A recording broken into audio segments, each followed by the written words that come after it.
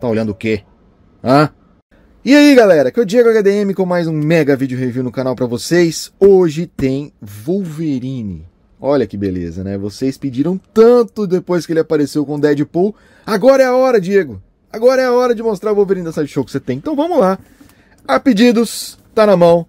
Bora ver como é que ficou o Wolverine da Sideshow em escala 1 sexto, tá? Como eu disse, da Sideshow oficial e licenciado. Eles estão fazendo os X-Men com o visual clássico do desenho dos anos 90, né? O visual classiqueiro, assim como aquele da Mondo, que tá ali. Deixei ele do ladinho, só para ir observando. Eu já vou tirar daqui, porque vai me atrapalhar abrir a caixa. E também aqui o da Hot Toys, o Wolverine do filme. Eu vou testar essa Red Sculpt ali antes que me peça. Eu vou testar, é lógico que eu vou fazer isso, né? Então vamos lá agora, a caixa é pequenininha, do jeito que eu gosto, não ocupa espaço, isso é bom demais, mas também o contra é que vem poucas peças dentro dele, né? Mas enfim, a gente vai ver isso aqui já. Assim como todos os últimos action figures da Sideshow, nos últimos anos, eles vêm com essa proteçãozinha chata de papel aqui, ó. Wolverine, né, com as imagens dos quadrinhos, beleza. E aí eu quero mostrar isso aqui para vocês, cara. Olha o trabalho de arte nessa caixa. Primeiro a lateral de fora, né? Essa aqui é a imagem do, do action figure, ok, mas eu quero mostrar para vocês aqui, o lado de dentro da caixa, o Wolverine na moto. São recortes de quadrinhos, né? Cenas aí do Wolverine. Olha só isso, cara, com os balãozinhos aqui, com as falas. E o lado de dentro da caixa também, tá? Ele é revestido com as cenas dos quadrinhos, cara, olha isso. Olha que legal. Cara, um capricho, né? A caixa poderia ser só sem nada. Mas tem essas imagens aí do Wolverine pra gente curtir. Olha que legal. Cara, muito top. E são vários momentos do Wolverine, né? De vários anos diferentes. Eu achei legal. Tá, vamos lá, vamos deixar a caixinha de canto aqui. E aí, o Wolverine da Sideshow tem dois blisters. Duas partes aqui pra gente olhar já. Vamos lá. Começando com a base toda preta, simples, aqui eu acho que foi sacanagem, né? Porque poderia... É que a Sideshow não investe em base para os action figures deles, né? Ó, não tem nada, nem escrito Wolverine, nada. É simplesmente uma base preta genérica para deixar ele de pé em cima. Ponto. Mas poderia ser um negócio ali, um terreninho, umas paradas destruídas ali, quebrada. O Wolverine merece, né? Mas tá bom. É o que tem e é isso. Essa é a base dele.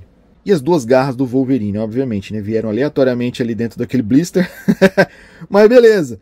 É, elas vêm separadas da mão fechada, né? Tem a mão fechada pra gente colocar a garra. E o mais importante, elas são em metal diecast. Você não viu errado, não é de plástico. Ouve só.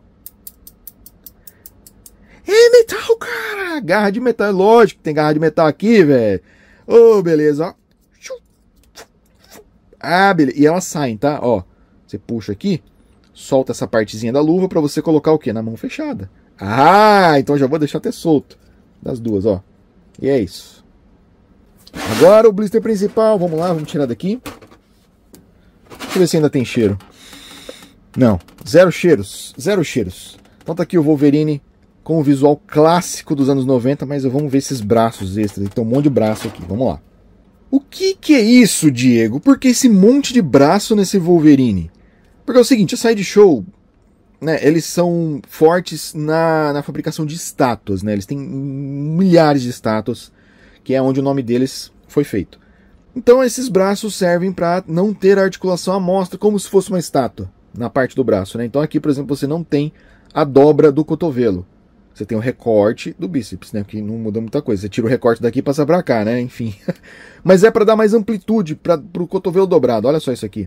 Né? Você vê a musculatura expandida do bíceps e o braço mais dobrado. Coisa que não dá para fazer no, no, na articulação normal dele. Tá? Vocês vão ver isso. Então é mais para isso, né? Para deixar ele mais assim com a garra mais perto dele. Isso é legal. E agora o bicho selvagem. Vamos tirar ele dali. Vamos lá. Plástico, plástico, mais plástico, outro plástico. Não tem fim o plástico. Deixa eu tirar esse negócio daqui.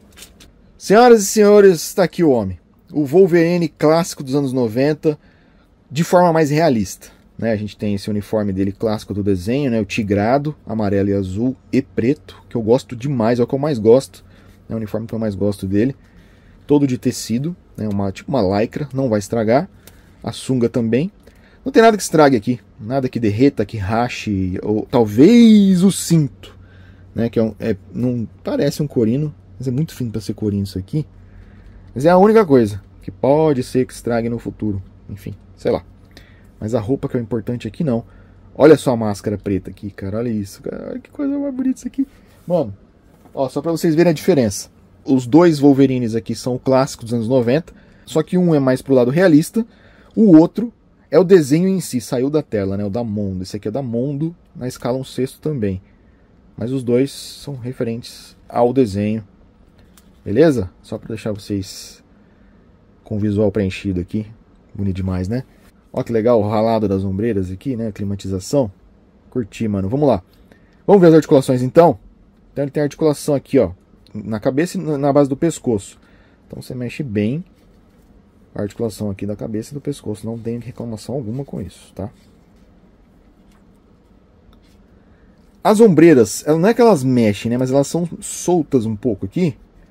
Então você tem uma mobilidade, se você quiser mexer o braço, ela vai acompanhar um pouquinho, um pouquinho. Então o braço sobe na horizontal, perfeito. Ó, não estraga, não força nada. Você consegue girar o braço um pouquinho, e aí é onde eu falo para você que a ombreira entra em ação, para deixar você mexer, tá? Ela não trava totalmente. O bíceps mexe, é um pouquinho difícil, mas mexe, tá? Ali dentro, que é justamente onde a gente troca o braço. E a articulação do cotovelo, que é 90 graus. É simples, tá? Um ponto só de articulação. Ainda ela mexe ao contrário, tá vendo? O punho também tem um ball joint aqui, beleza? É isso. Vale para os dois braços, tá? Ó, deixa o braço aberto aí. O tórax tem um ponto de articulação aqui, é emborrachado, o peito dele, tá? Meio emborrachadinho, tô percebendo isso agora. Tem uma articulação muito boa, a articulação do tórax dele. E também aqui o abdômen mexe, ó, lá embaixo, tá? Então você tem uma amplitude boa de... Um... Olha só isso, cara, e a roupa... Olha que legal que fica, mano.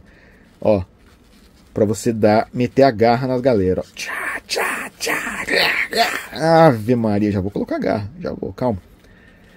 Aí tem o sungão aqui e as pernas. E aqui que entra o problema desse Wolverine. Não desse Wolverine exclusivamente, mas da Sideshow com action figures. Todo mundo que tem um action figure da Sideshow já percebeu que o corpo deles tende a amolecer. De todos. Eu não sei o que a Sideshow faz que, que amolece. E é o caso desse Wolverine aqui. Ele as pernas ficam mais molengas, tá? Então, ó, vou mostrar para vocês aqui. Ela mexe super bem, ó, vai lá em cima, abre, beleza. Vai um pouquinho para trás, mas ó, ela não segura o peso, quer ver? vou soltar aqui, ó. Tá vendo? Isso em todos. É impressionante, cara. Então, assim, ele para de pé, de boa, ele não vai cair. Mas você não vai conseguir manter a perna dele lá em cima, as duas. É o ponto fraco desse Wolverine. A coxa gira, o joelho tem articulação dupla, excelente, vai muito bem. A bota emborrachada, a borracha bem grossa, não vai estragar, e é separada da canela. Então você consegue mexer o tornozelo de boaça aqui, ó. De boaça, tá? Então assim, eu vi gente trocando esse corpo por corpos, por exemplo, da TB League, que é todo de borracha, mas aí você perde a opção de usar esse braço, né? Não tem como você arrancar a borracha. Enfim, mas aí o TB League já dobra assim, né? Vai de cada um. Eu não, não pretendo trocar, não pretendo ficar mexendo, até porque, cara, isso aqui tem que descosturar eu acho. Não sei, eu não vou ficar mexendo com isso, estragar o Tiger Stripe dele aqui, mexer.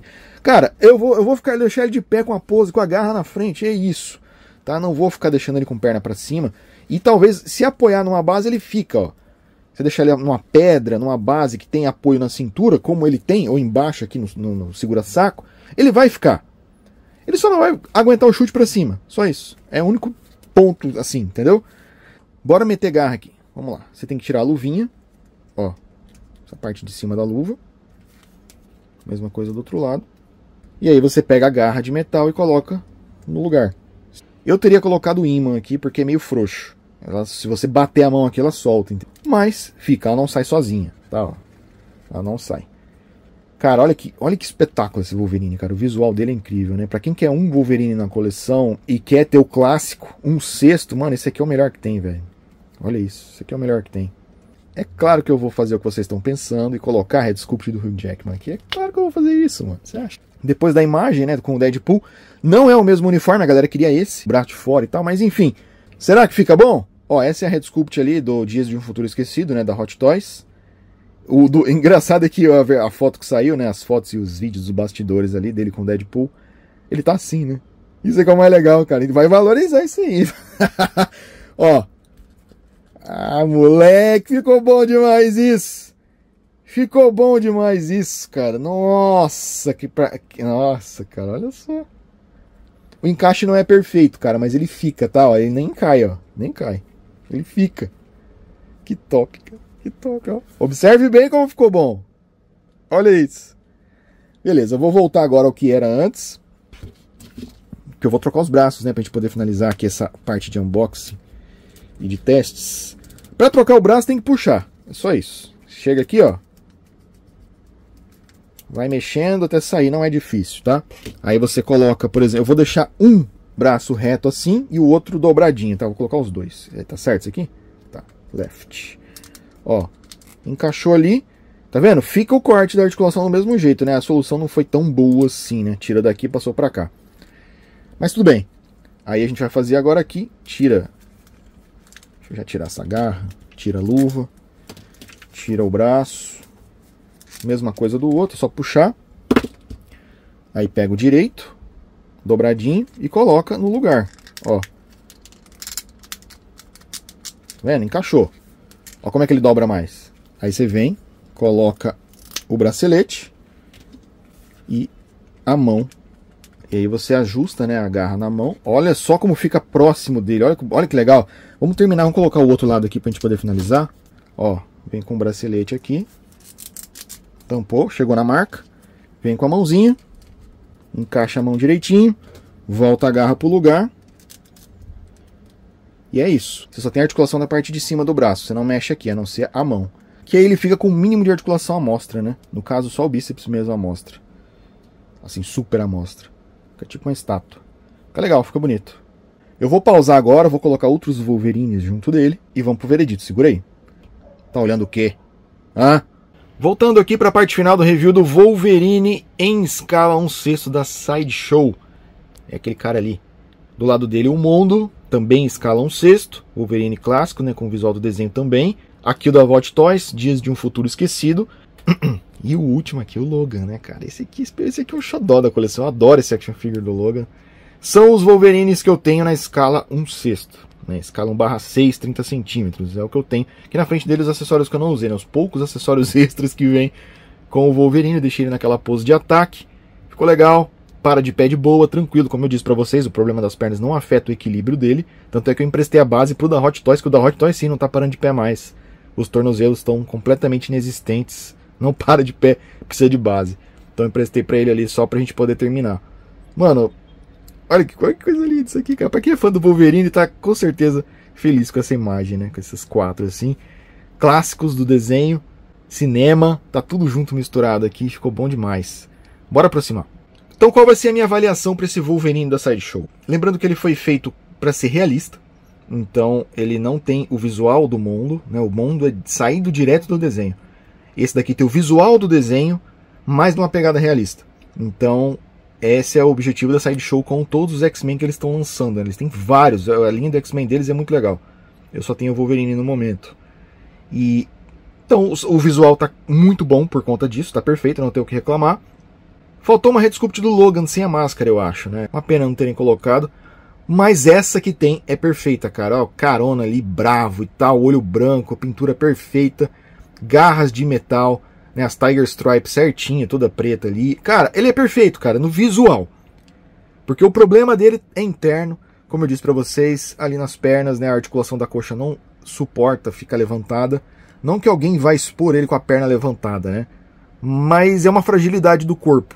E não é só do Wolverine, mas de todos os action figures da Sideshow. Todos eles têm esse problema de acabar tendo partes ali que acabam ficando frouxas e tal. No caso do Wolverine foram as pernas. Né? O meu Jason, por exemplo, e o Fred, os dois amoleceram no, no abdômen. Eles meio que tombam a coluna para trás, cara. É uma pena isso acontecer da Sideshow, porque é uma empresa tão grande, né? Deixar isso acontecer. É um negócio fácil de resolver. Mas enfim, é o ponto fraco dele. Então vou dar uma nota 9,5 por conta disso. De qualquer forma, vocês estão vendo que ele tá de pé, de boa, não vai cair. Mas tem a base também para ajudar.